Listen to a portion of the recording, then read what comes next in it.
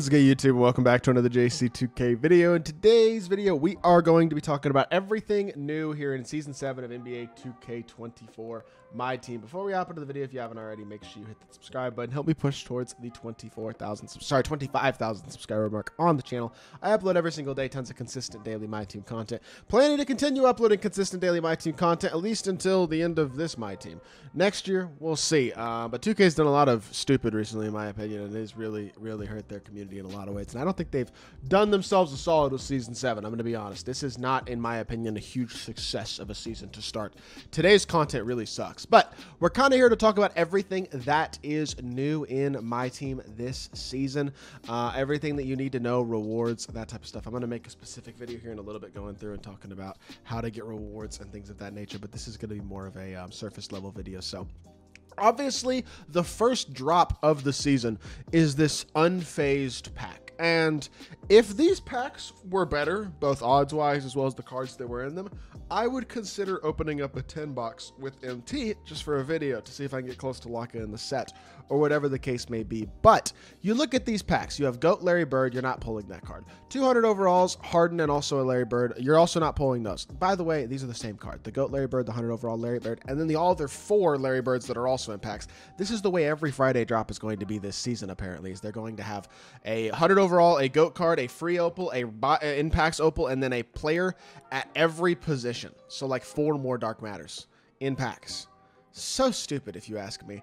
Uh, also, a Dark Matter Kareem, Dark Matter Paul Pierce, and then Dark Matter Chris Paul and Scottie Barnes as the um, pullable Dark Matters for the Unfazed set. while Harden was the 100 overall for the Unfazed set. And then you now have four Galaxy Opals from the Unfazed set Rob Williams, Raleigh Zerbiak, Cam Whitmore, and Immanuel Quickley. And then obviously the pullable Opal Larry Bird. And there's also the challenge for the free Larry Bird. So that is what these pack drops look like they're going to look like this season, and this is really bad, especially considering your odds are still kind of garbage. 15% chance at a 97 plus. That's every card we just looked at is 97 plus. So you have a 15% chance to pull anything, and only a 3% chance to pull any of these top cards, not to mention 100 overalls are still less than one. And by the way, there is now a Dark Matter Chris Paul, which is a huge troll Dark Matter. Not to mention Paul Pierce and Scottie Barnes are also kind of troll Dark Matters in of their own right.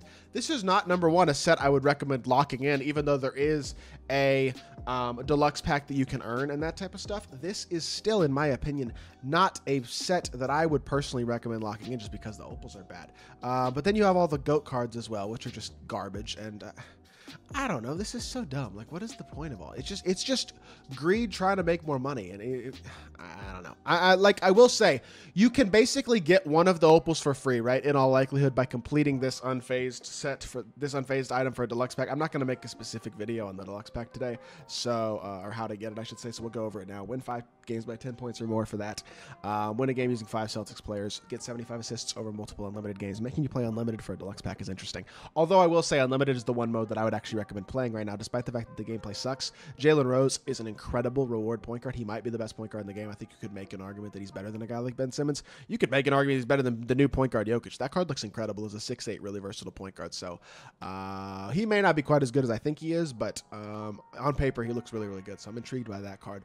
But you also got to get three double doubles over multiple games. 60 points as a Celtics player in a game. That's annoying, but you can do that in the same challenge that you complete the Larry Bird challenge for his free opal. Uh, 150 points over clutch online games and complete the unfazed spotlights. Lot of agendas there, to be honest. Challenge wise, let's just real quickly go over what's new. Um, spotlights challenge wise, you still have your round recap first round. We're going to get second round challenges on Tuesday. You got your unfazed challenges here. Got to complete all three of these an opal challenge, a dark matter challenge, and a final challenge to get an unsellable pack, as well as a deluxe pack, a diamond shoe bag, and a base pack. So they actually took away one of the base packs. That's so garbage. Okay, um, 25,000 MT is the ultimate reward for completing the Season 7 Spotlights if you want to do that. There's a Sabrina Ionescu signature challenge, and then there should be the Opal Larry Bird challenge somewhere. I don't I don't know where you get that Opal Larry Bird. I'm not gonna lie. That goat, that goat Larry Bird, I do not know where you get that card. So there's a free Opal Larry Bird. He's not good, but there you can get him, and I don't even see the challenge right now to get him, unfortunately. Um, so I don't really know about that.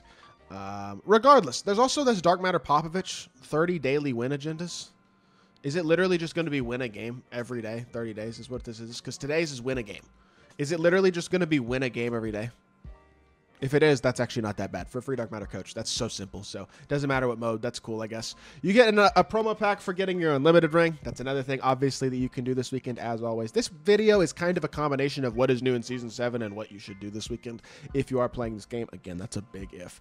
But for me, I obviously have a good amount of MT on my account. One of my boys was on my account grinding over the past few days. Actually, got me a good amount of MT, so I could get get some MT without spending my money because I haven't played the game myself the last couple of days. But so shout out to him. But regardless, uh, um. I'm going to hold on to the MT that I have this week, and I'll probably play the game some a little bit at least, but not a ton. I'm just going to play enough so I can basically have enough MT to lock in next week's set. The one thing I will say is if you do get the deluxe pack, that basically allows you to lock in the set for probably somewhere around 360,000 MT each week this season. That's what it's going to look like for the Opals. And we're obviously going to get a bunch of midweek free content this week for sure with the round two recap and whatever free content is coming on Tuesday um, to replace Bold. But lots of good free content, I'm sure, midweek during, throughout the seasons and stuff. And I'm sure there's going to be a lot of free stuff simply because it's later on in the year at my team. But the rewards to start off this season are kind of garbage. And I'm going to talk more about the rewards specifically in another video. But like these, like even Jokic for level 40, like he doesn't have a changed release and doesn't have unbelievable SIGs. The point guard Jokic is good, but as a whole, where is the point guard Jokic? I I don't see him in here. Uh, he should be in under season seven rewards, and he's not right now, so that might be glitched. But the point guard Jokic, obviously the pro pass reward, which I don't even see where it is. Um, that's very confusing, but uh, obviously, um, the, the rewards just don't look that incredible. Even the salary cap rewards, Jamal Mashburn, Adrian Dantley, Dejounte Murray, those are not exciting rewards this season. Josh Smith's a six nine power forward. That's not that incredible. Like, in general, I don't see a ton about this season that looks super exciting to me outside of Unlimited for Jalen Rose right now because he's probably the best point guard in the game probably. And I think that's about the only exciting thing. Like, there's obviously modes. Completing modes will make you a lot of MT. Every single season, it will reset, and there's going to be a lot of MT to be made. The problem is, you can make a lot of MT, but number one, you still have to play the game to make it. And a lot of people just aren't enjoying playing the game. And number two, there's still not much you can do with your MT, because all you can do is spend the three or four or 500,000 MT each week to lock in a set, depending on what, how much you need and what you get, or open packs. And like, sure, you can open a 10 box each week, or even two if you grind, or whatever the case may be. But it's just like at the end of the day, the odds are bad.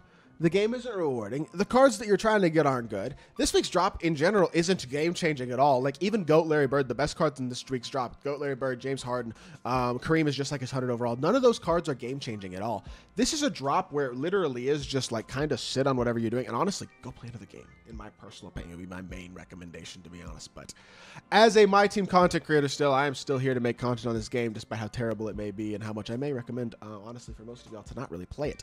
But I think there will be more incentive to play later this week for people who are looking for stuff to do. Uh, obviously, you have things to do here. They're just not the most rewarding things, is what I'm saying for this weekend so far.